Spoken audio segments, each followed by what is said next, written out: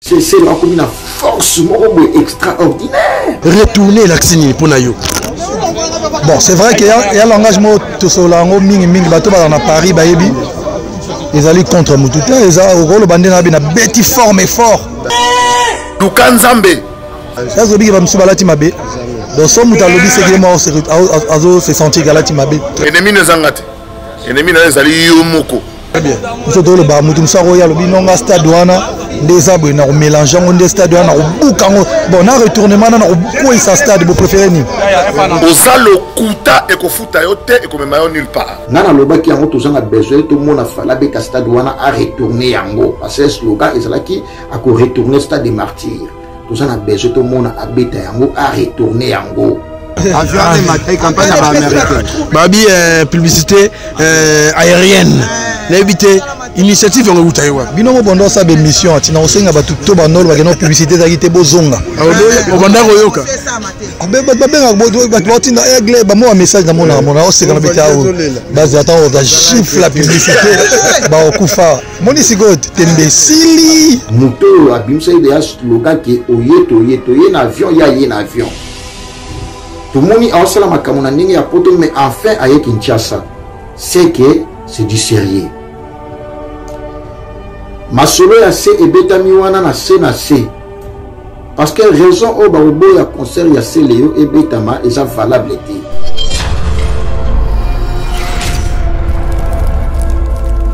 bozotala baimage oyo koma Celeo bayambi ye na bureau ya bourgmestre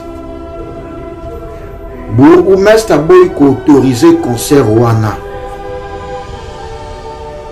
parce que fallait obeta na stade de martyre Celeo azobeta na Inca eza plus proche sur le plan sécuritaire bakozala en mesure ya kosécurité bato bakoyana te c'est pratiquement inconcevable parce que toza na ba différentes communes stade de martyr eza na commune ya kinshasa imka eza na kalamu na quartier matongi donc ça n'a rien à voir na makambo ya stade de martyr na imka différence moko eza na te soki bazoloba sur le plan sécuritaire tosala allusion tozonga mwa moke ba grande production kutu oyo ebetama ya bafarafara tomona baconcert ya fikin ya wera na jb tomona tomona sécurité ezala oyo na kwe na ye na bato na ye oyo na kwe na ye na bato na ye mais wana sikoyo ezalaki na kati ya bastade est ce que commune ya kalamu eza en mesure ya kozwa badisposition sécuritaire te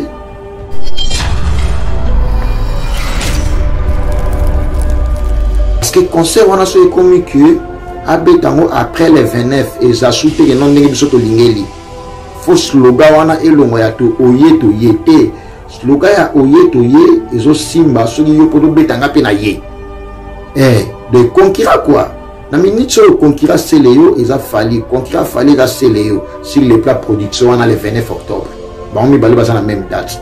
excellence monsieur l'ambassadeur kofelo mide totia ete parce que yaza dans un autre pays kotala procédure ya makambo ya celeo nde ezokendele ezokende déjà que 12 moko boye ezongi ebetama wana neti neti celeo azobangisa parce que bamoni première répétition ya celeo et traumatisé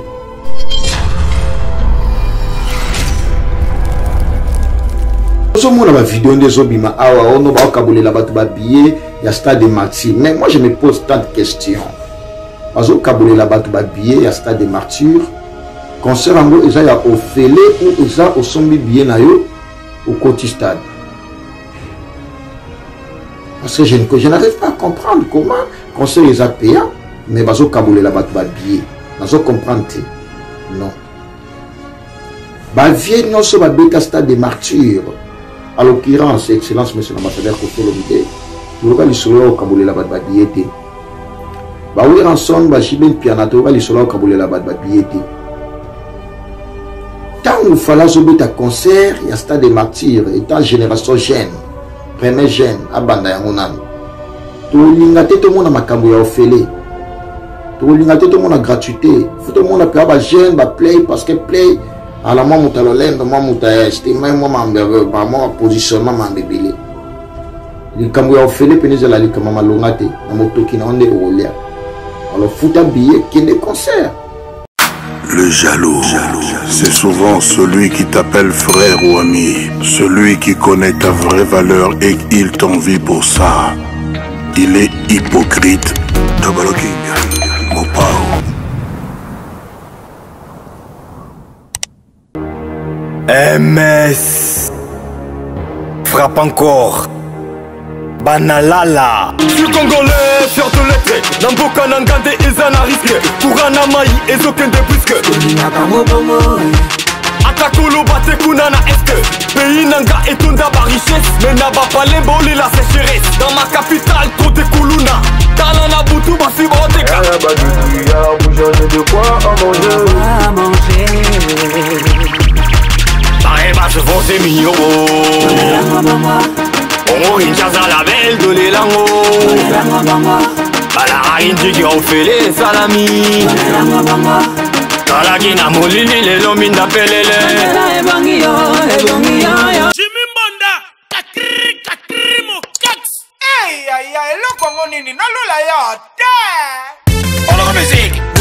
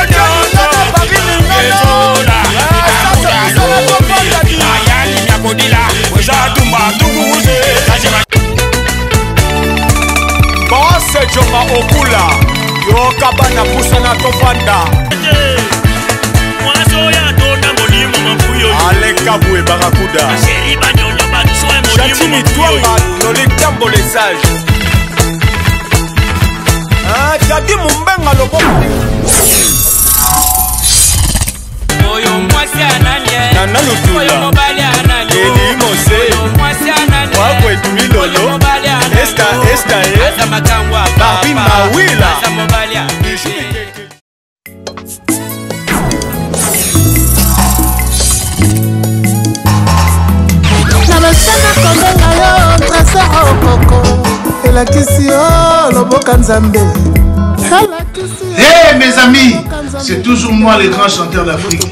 Mais un chanteur à Congo Didier Lacoste. Je viens pour vous dire que Nzembo Mogue Bibi Trésor au Coco. Allez, écoutez ça. Nalela Bino fort. boyoka chant bojige mutaleke bajeune tout yaka okanga emolaji trésore okoko le jeune entrepreneur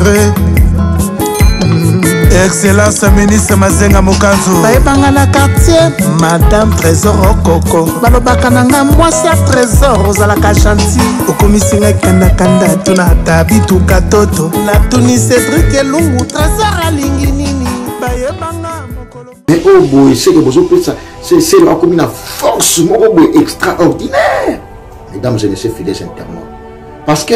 force oselo akomi nango wana ezobangisa ekomi à la veille tokomi déjà lalala lelo déjà toza jeudi lobi vendredi dernier jour samedi makambo ebandi bayambi selo yo pour ke baannonce ke non bapesa badetail makambo nyonso twana tolandi bourgmestre ndenge azoloba en tout cas raison wana eza valable te presse il faut totelema Sans la culture, le pays n'aura pas à se développer harmonieusement. Pays nyonso tout etambola na culture. Neti na poto awa tozala na ba Patrick Masidi. Wana ba journaliste na poto tozala ba Pamela Shekola. Hein? Tant tozosala makambo to accompagna ba musicien na biso soki likambo moko boye ezosalama bien te il faut totelema pour ke tolobela yango yango wana nga prince bakali mwana roi défenseur ya babonne valeur concert ya celeo wana il faut ebeta il faut concert ya celeo ebeta celeo aye avion tomoni banderole celeo akiti kinshasa tomoni plein celeo répétition tomoni bato ya komela agogo bato babini bato basepeli bajournaliste nyonso tout conta bagolois na bagoloise nyonso tout na bagladiator bosoutenir celeo eza musique musique ekendaka bongo moi j'encourage ça concert wana fo ebeta soki concert wana ebeti te seke celeo aganye concert wana soki ebeti te seke celeo aganye soki ekomi batiela ye après le 29 octobre seke celeo kobeta lisusu te ezonga na opoto yoka quadra c'est moi Kofi Olomide je vous le dis avec cœur si vous voulez aller de Bruxelles à Paris de Paris à Bruxelles aujourd'hui il y a un moyen que vous devez soutenir et un moyen que moi je vous recommande ça s'appelle Neo Tam Tam c'est fait de main de maître par un Congolais digne de ce nom. Moi, j'ai fait l'expérience et je peux vous dire que l'expérience a été concluante. Donc désormais et dorénavant, pour vos déplacements, si vous voulez faire venir quelqu'un de Paris à Bruxelles, néo Tam Tam. Déjà, c'est notre devoir dans la diaspora de soutenir les initiatives des compatriotes. C'est comme ça que notre pays retrouvera sa dignité, sa force et sa percussion. Quand tu es belle Tu voyages avec Néo Tam Tam Voyage.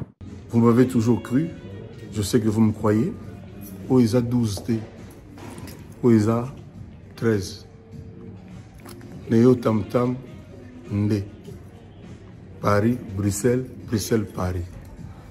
Que Dieu vous éclaire et reste focus sur vous. Double King, le maître de double demeure, Bossia Moka.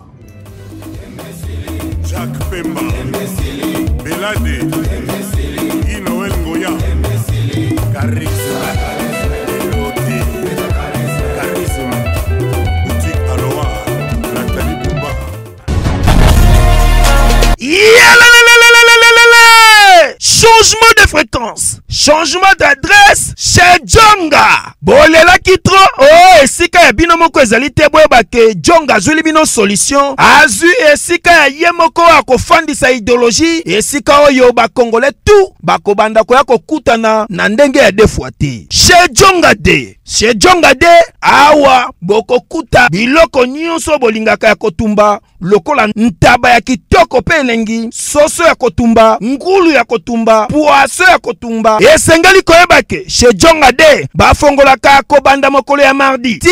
dimanche. Awa nde esika ambiance ezali kolala. Adresse eza kaka se moko chez Jonga de. weekend boza deja ya kosepela mpo awa ambiance elalaka awa na ndenge ya defua te chaque vendredi bobanda kozwa suzuki luzubu 4x4 ye nde moto akosepelisa bino na ndenge ya kosakana te oza kolia oza komela oza kobina mpe chaque samedi ekobanda kozala nde cnn alligator na baartiste mosusu bakobanda kosepelisa bino na makinu ya defwa te na bakunga ya kosakana te epuis chaque dimanche sombele suka ya bisanga nde bokozwa le grand chanteur emeli alias de mingongo ye nde moto akolanda kopalola awa bokosentir betue bao difference yena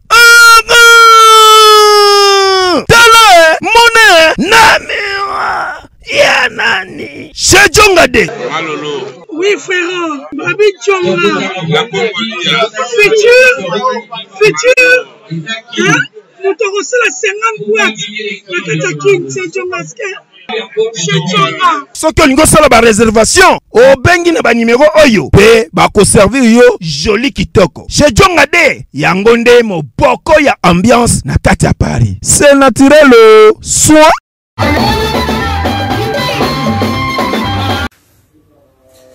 Salut mesdames et messieurs, nous sommes Prince Bakali TV, la chaîne d'actualité et d'information. ensemble avec le votre Prince Bakali Monagua. Nous sommes également sur Elena Congo Télévision officielle, la Melenga Pro, Madame Lodi Souka, ainsi que les enfants.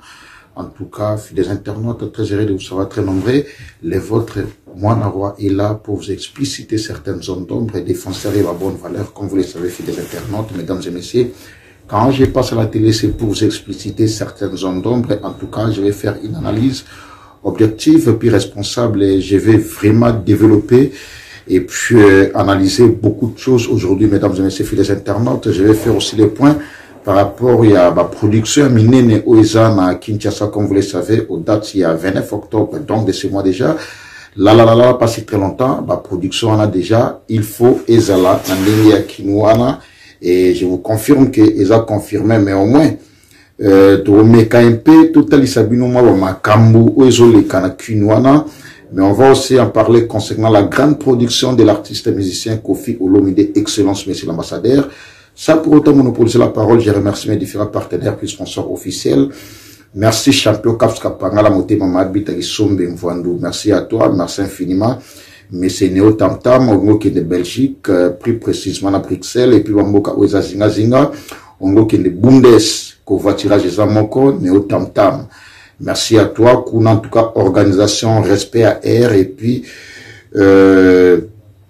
euh, crédibilité ezalaka meseneo tamtam merci à toi merci infiniment notie congolais français américain danisha chinois congolais ya bruno lubika mbongo ya propre merci à toi merci infiniment ya flavie panda mama emilie nzemba ya tous pepele ya mbetolo lelo tokosolola par rapport ya la grande production ya artiste musicien fali tokosolola par rapport ya la grande production ya artiste musicien celeo scram et puis ya excellence Monsieur l'ambassadeur Kofi Olomide, mur de lamentation, tosala ba points pona ba grande trois grandes productions wana tosolola mwa mingi pona yango. Mais pour que to bana to bana na entrée de jeu, to kota na production ya excellence monsieur l'ambassadeur batebele ba bengenga bino Prince Bakali Kofi production na ye oyo azalaki na Namibie wana eske azongi deja Kinshasa oui je vous informe excellence azozwa deja avion lelo na bamusicien nyonso to ya quartier latin euh, pour Botswana parce que aza na grande production moko wana le 29 octobre na stade ya Botswana nde nalobaki na bino stade wana vaut 4 martyrs donc euh, monene nango eza de kosangisa mpe ata ba 4 martyrs pour la production production wana ya kofi olomide excellence monsieur l'ambassadeur yango wana asengi na bakofi fil na bakofiyete nyonso tout le 29 octobre bobouge te bokozwa live ekozala na bareseau sociaux epuis bokotala yango en direct na rtnc siège national kofi olomide akobeta na stade ya botswana wana batali babino na afrique musicien oyo totikala na ye michael jackson oyo akosepelisa babotswane tout eza nani batali babino fo bazwa excellence monsieur l'ambassadeur kofi olomide comme aza mpe légende comme vous le savez auta ozwa la fois passé trophée légendaire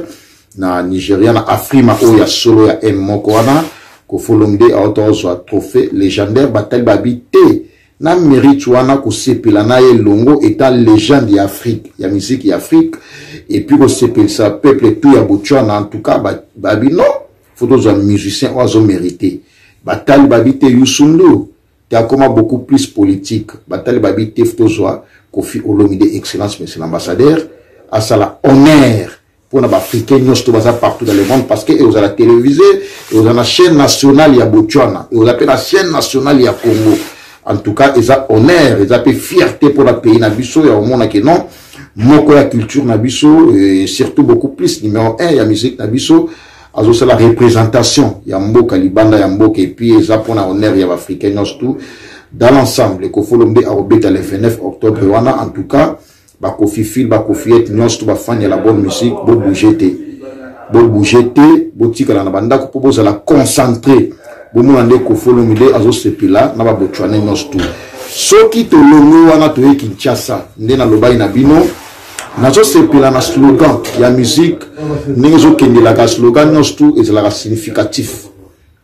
Tant slogan ezo ya significatif en tout cas il faut tout mesana yango il faut tout talela yango ndenge makambu ezo kendele. Batu ba bengi nga mwa trop lelo lelo nga prince bakali mwana roi bato babenga bayebi prince bakali comme oza mwana va défenseur ya bonne valeur tolingi o explicite biso yango na soli na baya nikai ngala mon invisible na soli na baya edo muzamba baya papi seven na soli mingi mingi na ba teams ka bengi le l'homme des immeubles baza na Kinshasa et puis euh, na bengi bengi bengi bengi bengi ba pesi na mo ba précision ba pesi ngai moi idée par rapport ya makambo ezo lekela par rapport ya la grande production ya Celostram comme je vous avais informé puis confirmé aussi la fois passée que production wana ekozala Celeo tomonaki azwaki avion na ye akendeki Kinshasa, bayambi na Kinshasa et je félicite aussi corporation na biso ya presse tomonaki en tout cas bazalaki représente bazalaki bel et bien présente en tout cas bayambaki artiste baaccompagne ti place artiste asalaki répétition c'était vraiment catastrophique bato basepeli bato bameli bato balie bato babini na répétition ya celeo et je félicite aussi l'artiste ministre patrick beckham oyo apesaki Celos Cram ba musiciens na ye pour que ba accompagner ye mpo na événement ya monene wana bato ebele ba se poser ba question babi non eh, tomoni neti Celos asala comédie na ye mais nasepelaki na discours moko asalaki ntango azwi micro na séance na lie ya séance répétitive Celos alobaki que akofuta billet na ye te pour que akende kaka Kinshasa ayende kosala ba connerie nga na informa ye bino nga prince bakali mwana kwa na bayi na bino soki concert wana eza te bokata na loboko donc c'est à dire soki sele oyo azosala ba blague na nga naleka na tv te na sacrifie loboko na nga soki nalobaki na bino keno sele oscram akobeta concert wana c'est tout simplement parce que nasololaki na administrateur numéro 1 ya, ya espace wana ya stade wana imka aconfirmaki nga keno sele yo akobeta date wana eza réservé mpona sele yo le 29 octobre asololaki na ngai yango wana nalekaki na explicitaki bino na confirmaki bino yango ke celeo akobeta tomonaki fali asalaki spot na eh, bapetit porter wana na banderole ezopepa ezosala eh, marketing publicité ya pas mal de choses tofélicitaki eza idée ya bien tomoni mpe artiste celeo asali yango donc ezo correspondre na slogan na ye ya production na ye ya oye toye ezo correspondre baye na avion ye mpe aye na avion na ye na banderole tomonaki avion celeo mpe nde ezotambola na banderole etou mach bato nyonso to basepelaki na yango tomoni celeo akiti kinshasa bu ebangisi bato en fait soki toomeka mpe kodevelope yango tout petit peu eza mwa crainte mwa bato banda ondima mpenza te ke non concert wana ekozala mpenza ya seleo bato banda ondima mpenza te siko ntango bayomona seleo aye kinshasa bato bakoti na frustration bato batali babi hmm, ndenge moto aye kinshasa boye azalaka déterminé parce que quand il parle tout le monde écoute ninga ye kinshasa oyo boye oyo bayozwa ye boye na baaéroport na bajipe barange confer bajipe babis mai bato bagola bagoloise nyonso to batoni bagladiator bayinda oyamba sele yo plus de 80 journalistes ya presse en ligne bakoki oyamba sele yo en tout cas ezalaki honneur eza fierté pour la musique na biso parce que concurrence loyale oyo ngai nalobaki na bino que le meilleur gagne que vive la musique congolaise oyo biso tolingeli nde tolingaka mpe bongo mais nazo informe bino que concert ya celeo ekomi na ba bakomi kokale bakomi kokase nde tobengaka na terme na biso kinois 12 ekomi oluka ebetama 12 yango ezolinga ebetama de, de quel côté natalisi bino déjà par rapport ya celeoscram ndenge autaki kinshasa et pardon ndenge autaki poto ya kinshasa première volonté déjà yango wana première démonstration déjà yango wana ya kolakisa kolongola na motu ya bato ke asala comédie te parce que afuti babillet na ye afuti asala réserve hôtel na ye mpo na production wana kosala blague te mais nazo informe bino ke Bozo tala ba image oyo koma seleyo ba yambi ye na bureau ya bourgoumestre bourgoumestre aboyi ko autoriser concert wana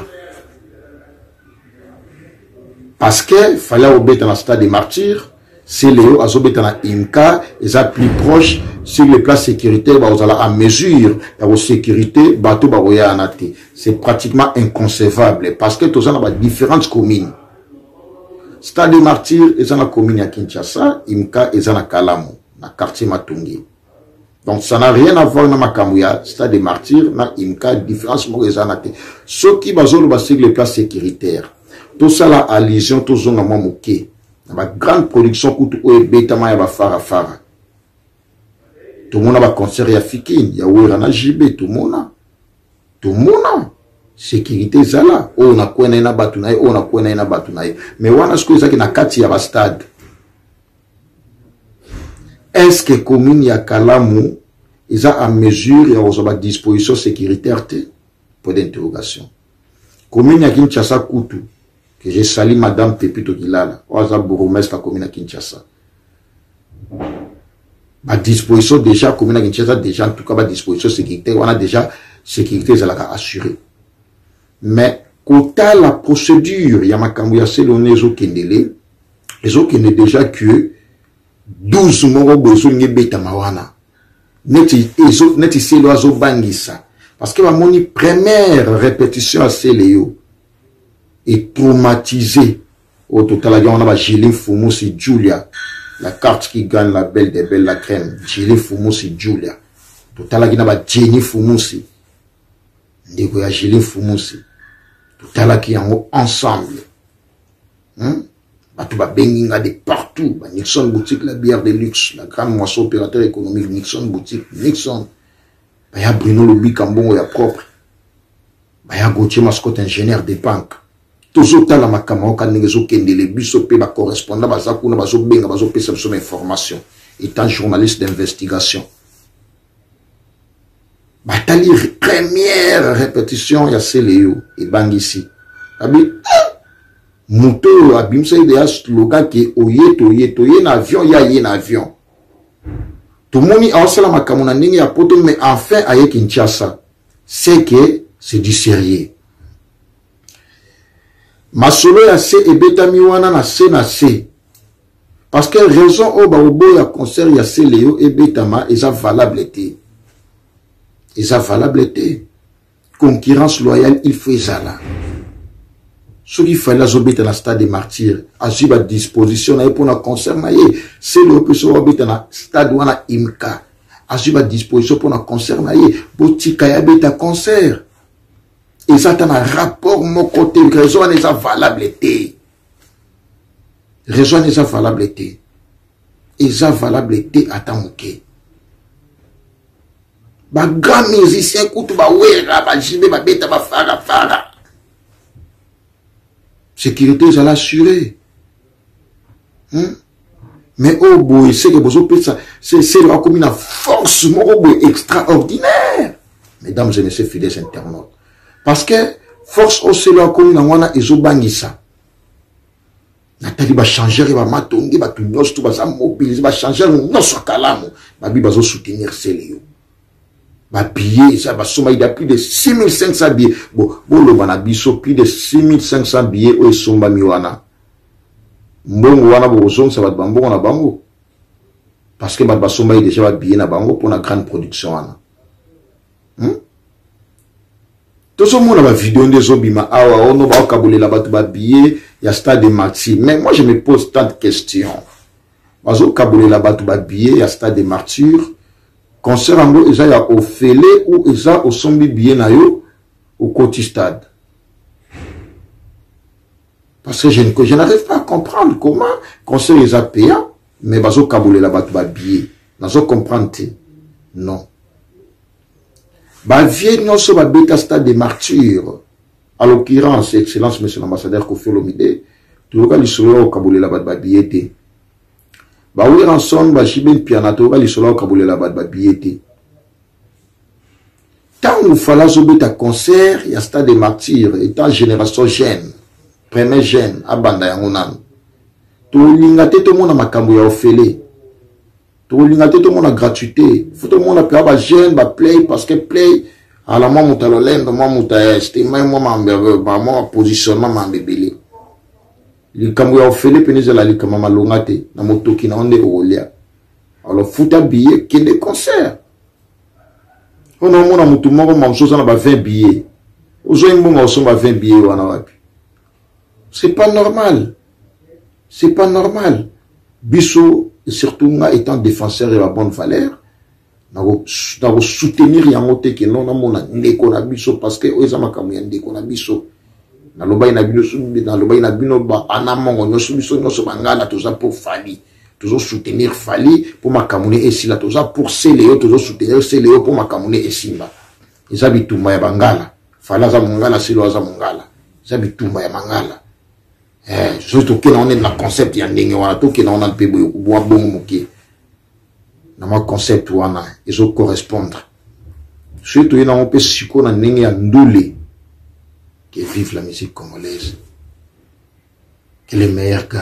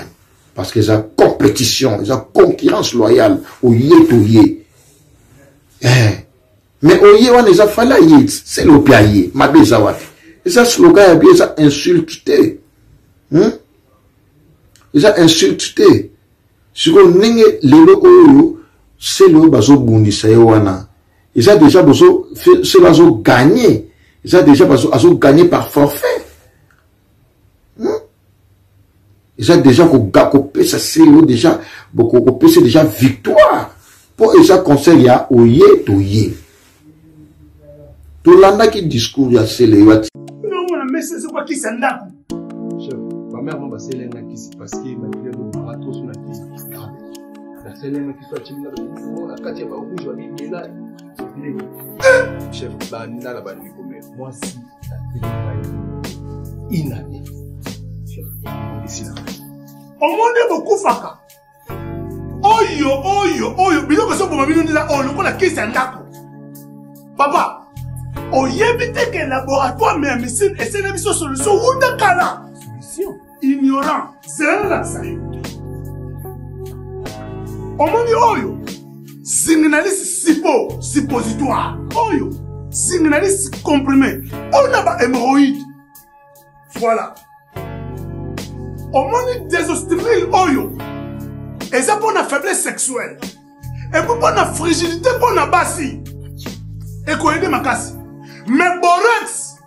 soki osisi traitement nyonso tu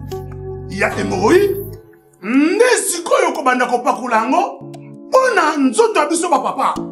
soki mpo olingi omesire basantimetre no avo banda kopakola mpo mokolo kosilisa okomesire lisusu okomonake box toujours champion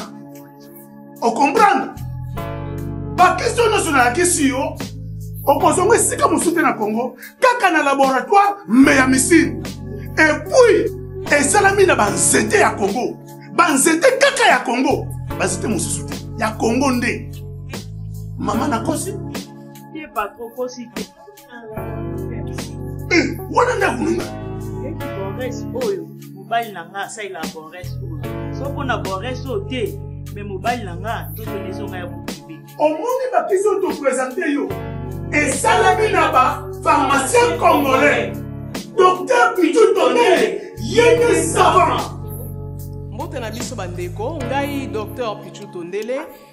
naza pharmacien ya formation nazwi formation na université ya kinshasa na faculté ya pharmacie epuis nasali bamaster na niveau ya université marien ngwabi mpe na niveau ya canada na transformation des agro ressources epuis préparation ya bacosmétique thérapeutique naturelle nazali koevre na laboratoire crmta oyo ezali laboratoire meyamisi spécialisé na production ya baphytomédicaments c'est-à-dire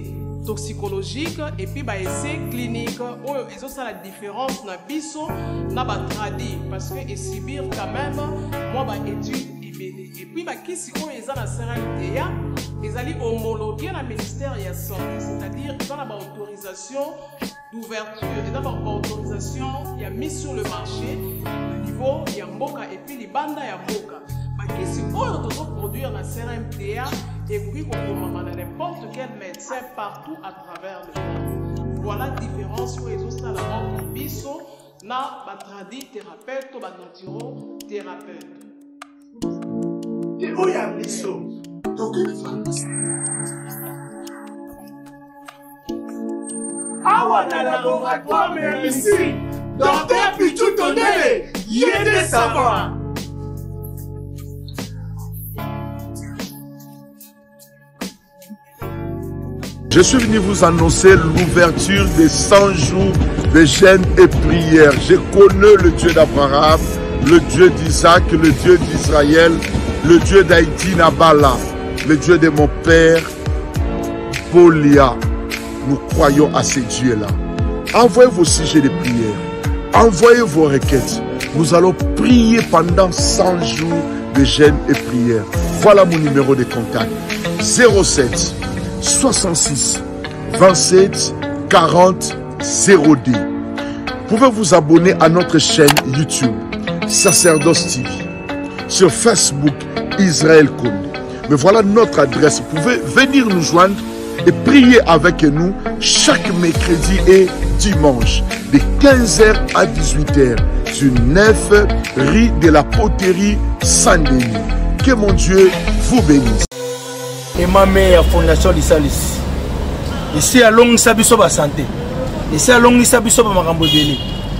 mais ya mbalo balobi assurance assurance complet olingi oassure voiture na yo ndako na yo mutuelle de santé mpe ezali wana vraiment fondation lisalisi emameya tobosana te biso nyonso na château rouge na marcade mpo na baassurance na biso nyonso tomonaka fondation lisalisi emameya na château rouge na paris assurance to rapatriement euh, mutuelle nyonso oyo bino boyebi ezaka na kati ya assurance tomona emame ya fondation lisali eh, assurance oyo nga natiunanga ngayo nakena balobi bana afrique bana europe bana amérique bana asie bana océanie bana mokili mobimba makambo tolukaka eza kaka mpo ya fondation emma meya fondation lisalisi ya emma meya balobi partout dans le monde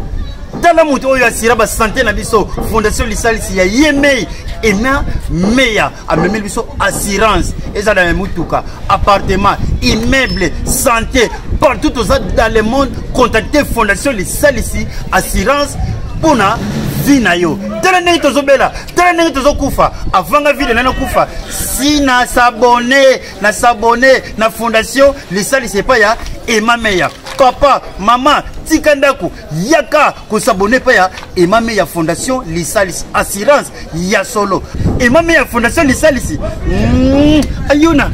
naza koyebisa bino bandeko esika nyonso bozali mpo na assurance na bino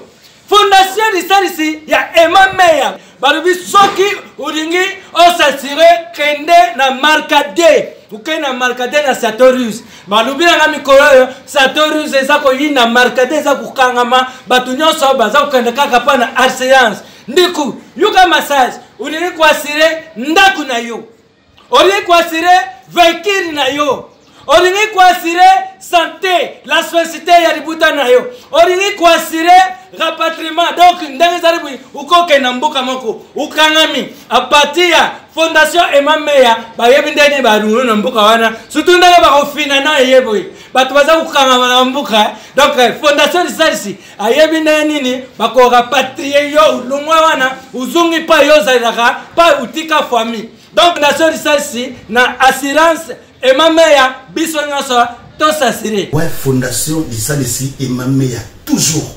et toujours maintenant assurance bapapa bamama assurance na vie ya moto c'est très nécessaire ya mituka ya bandako ya bana ya baekole partout ya baentreprise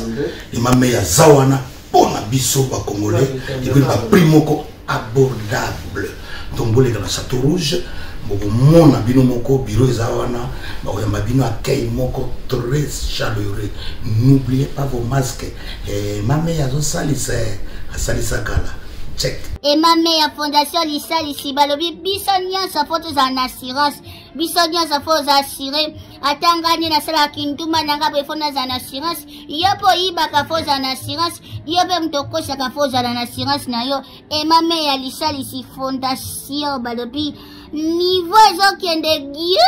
awi ah balobi ozala na europe asie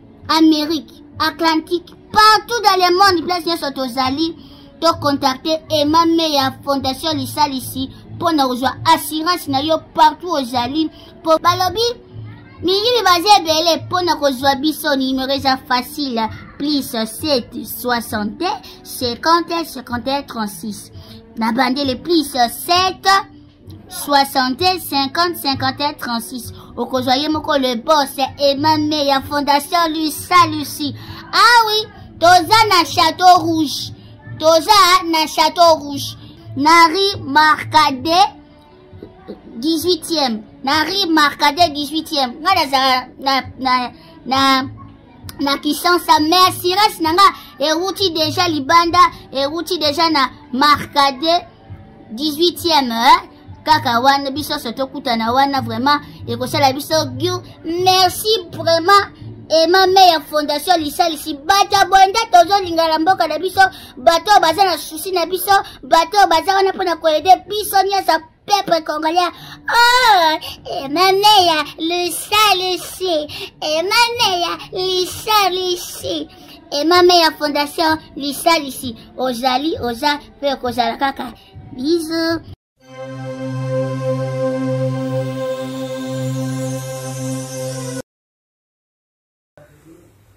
pays nyonso tu etambola na culture neti na poto awa tozala na bapatrick masidi wana bajournaliste ya poto toza na bapamela shekola ntango tozosala makambo to accompagna ba musicien na biso soki likambo moko boye ezosalama bien te il faut totelema pour ke tolobela yango yango wana nga prince bakali mwana roi défenseur ya babonne valeur natelemaka pour ke nalobela makambo nyonso ezoleka na ndenge ya bien te dodi ilunga dollar na kati ya la louvière wana na belgique dodi ilunga dollar dolaskin Merci à toi Fleury Mignon. Bascule total. Fleury Mignon. Merci Junior Yombo ya Gisèle Zinda. Merci ya Annie Dembo. Wana ba yanga. Ba ya Charlie Binda na kati ya Belgique. Merci Sam Kunku le nécessaire. London, Sam Kunku le nécessaire. Mama Emilie Nzemba ya tous pepele ya mbetulu. Bango nyonso to basa d'accord concert ya Celeo wana ebeta.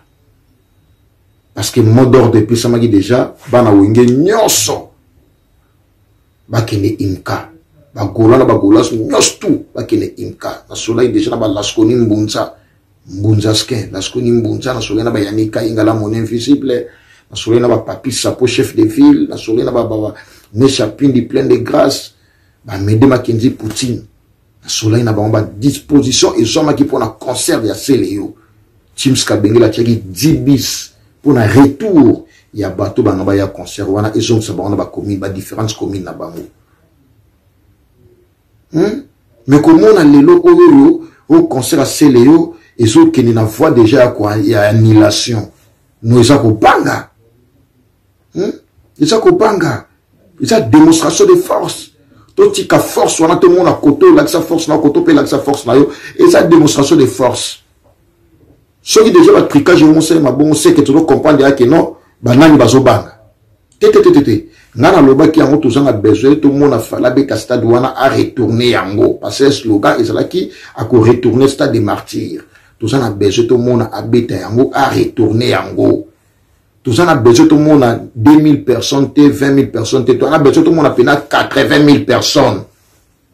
tomona mpena ata espace moko ya moke ezala te te koretourne eza en quelque sorte etonda soki etondi te seke elongwe koretourne wana toyela mpe na bacommentaire toyela mpe na baanalyse etant baexpert à la matière eza makambo ya miziki ata osola makambo ya vie familiale te toyosola masolo ya miziki eza normal critique epermeta moto akende de l'avant toza na droit ya kosala critique en bien pourtant naolobela a naolobela mambaselo ndeti omoni ezokende na ndenge bakaka tomoni musicien asali repetition na bamusicien ya patrick bekam apesaki ye basala na bango repetition mpona evenema wana bokanisaki keno ayaki mpona baje ntango bato baomomona kino mama bango c'est du sérieux bakomobanga ah, moto ndenge ayeboya ye na décision oye toyeboye c'est que akolakisa biso miracle jour wana po selo azalaki déterminé mpe bafane baamoureux tout ya la bonne musique mpe baza déterminé bakinois batali balobi te biso tomoni mpasi tosomba biye na biso tokema mbofele te tokema mpenakena ya biye concert ya ozala nile te parce que concert wana so ekomi que abeta yango après le 29 eza su te keno ndenge biso tolingeli fo sloga wana elongo ya to oye toye te sloga ya oye toye ezosimba soki yo mpo tobeta nga mpe na ye eh, de konkira kua na minute oyo konkira sele yo eza fali konkira fali eza sele yo sur le plat production wana le 29 octobre bango mibale baza na même date excellence monsieur l'ambassadeur kofi olomide tootya ye te parce que aza dans un autre pays ye ake pays mosusu azobeta botswana au stade wana bakofi fil na bakofi ete nyonso to bakofanda na bandako batala concert na tv ya kofi olomide excellence monsieur l'ambassadeur oyo akolemba na ye alali pongi concert ya celeo wana il faut ebeta il faut concert ya celeo ebeta celeo aye avion tomoni banderole celeo akiti kinshasa tomoni plein celeo répétition tomoni bato kolia komela agogo bato babini bato basepeli bajournaliste nyonso tout content il faut concert wana ebeta merci à toi dani chando chinois congolais na mishangu chinois congolais ya brino lubika mbongo ya propre ya wili pensiene le bailleur de fo ya wili pensiene japonais mwanza kasongo japonais mwanza kasongo coiffeur international japan mike makiadi na paris ndeko ya bonheur makiadi obama na chine mike makiadi na paris ndeko ya bonheur makiadi obama na chine merci à toi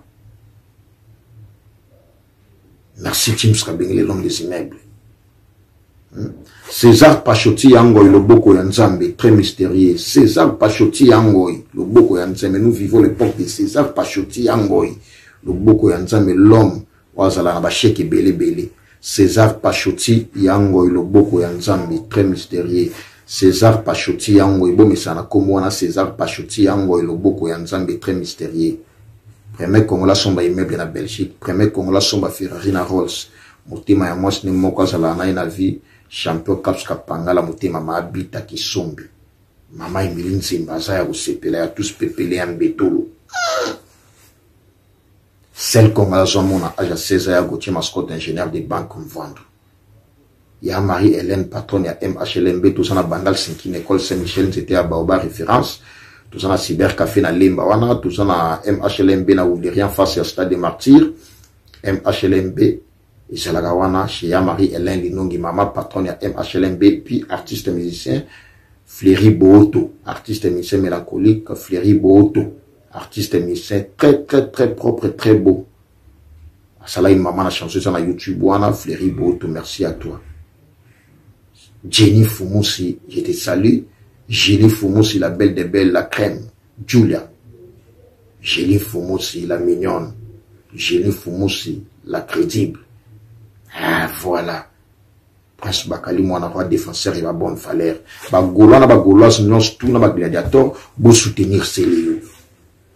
eza musique musique ekendaka bongo moi j'encourage ça concert wana fo ebeta soki concert wana ebeti te seke selo aganye concert wana soki ebeti te seke selo yo aganye soki ekomi batiela ye après le 29 octobre seke selo okobeta lisusu te zonga na opoto soki ekomi après le 29 octobre ekobeta te zonga poto soki tona posa makambo tomona mpena eh, concurrence loyale ezala sur le terrain hmm? concurrence loyale il faut ezala tomona bafikini wera azobeta kuna jibe koto eza normal eza normal stade de martyr eza na commune ya kinshasa ça n'a rien à voir na commune ya kalamu ça n'a rien à voir commune ya kalamte eza de l'autre côté en face ya stade ya martyr eza commune ya kasavubu triomphal ekaboli stade de martyr so olongwi triomphal avenue enseignement eza wana de commune ya kinshasa stade de martyr eza na kati ya commune ya kinshasa biso bana commune ya kinshasa toyebi mambo na osolo basse gare du nord bayebi mambo na osolo basse gare du nord général stomi akafuleka Général Stomy Aka Foulek, je te salue. Maître Turambo Malembatable, je te salue. Hein? Stade des Martyrs, et ça, na commune à Kinshasa. Wileri et Kaboli, Lingwala, na commune à Kinshasa. Bokassa et Kaboli, commune à Kinshasa, na Barumbu. Triomphal et Kaboli, Kassavubu, na commune à Kinshasa. Stade des Martyrs, c'est ça, na Katia, commune à Kinshasa. non à un certain moment tosala makambo mosusu na bosolo totika jalousie kaka mpo sele yo eza ta na ye aye na mopepe moko baye na force moko boye totika jalousie ezonore te nga prince bakali mwana roi naza wana puke nalandela makambo na ndopesa no toujours baprécision ndenge makambo ezokendele merci ya bedo pensiene ya moto champion adol